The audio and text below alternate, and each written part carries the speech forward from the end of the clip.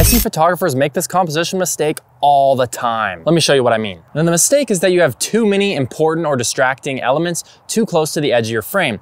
I'll show you guys what I mean in this shot right here. I've got this cactus on my right way too close, cactus on the left way too close. It's really distracting, so it causes my viewer's eye to go outwards and away from the photo when I want their eye to come inwards towards the focus of the frame. There's a few different ways you can fix the problem. You can zoom in, zoom out, or you can move where you're standing. So in this instance, I'm just gonna take a little step back to reframe a little bit. Now you can see how much better the composition is from just a small step backwards.